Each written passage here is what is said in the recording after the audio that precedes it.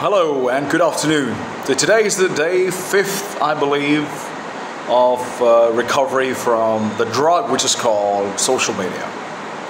And uh, I'm actually recording this on a regular basis, uh, on a day to day basis, as to what exactly is happening with myself, with my mental health, with my physical health, spiritual health, relations, productivity, finances. Everything has a has an ultimate impact and you know ultimate positive impact. The only thing that i'm kind of not having is the unlimited and untimely messages comments uh, the likes the shares and everything the notifications basically.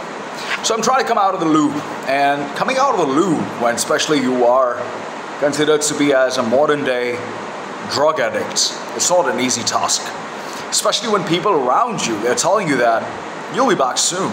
You'll be back in no time and uh, you know, there, there is nothing wrong in them saying that because that's how most of the people are responding to somebody who is intending or either has left the social media.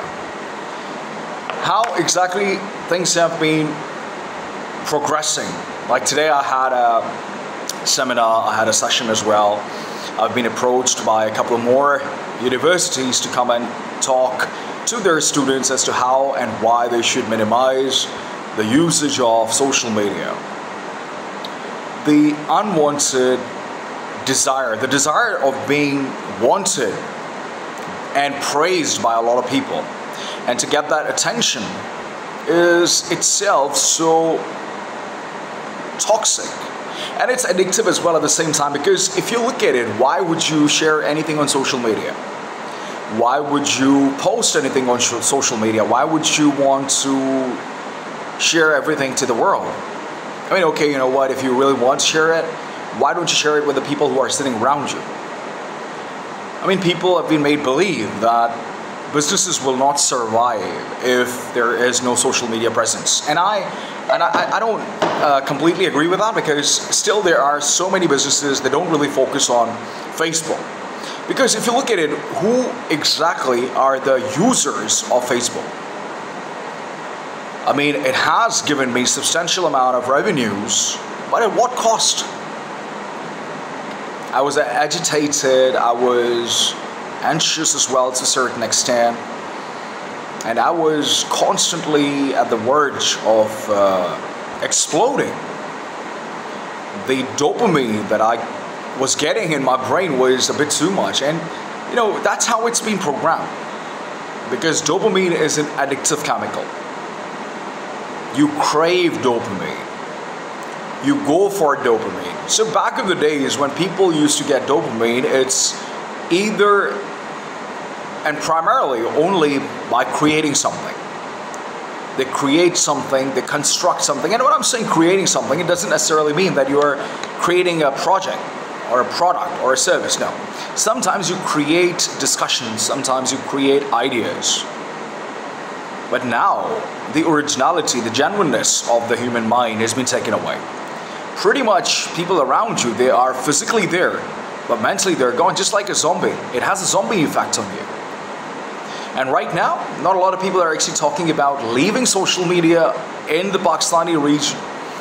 And because of that, I am going to be facing a lot of resistance, a lot of persuasion by those who are totally making, you know, big bucks through social media. And I'm, you know, that's absolutely fine. But you can make those things. You can still make money. You can still create wealth. But to have that desire to create something overnight, because not to forget, social media has come up with the with the term it's called going viral, overnight success, overnight hits, multiple shares, millions of views. That ultimate and the unique selling proposition to have that sort of a feeling that what if this would break the internet? What if I become the next talk of the town? What if? So that what if actually making us get back to those slots. It's like a slot machine, just like in a gambling zone, just like in a casino.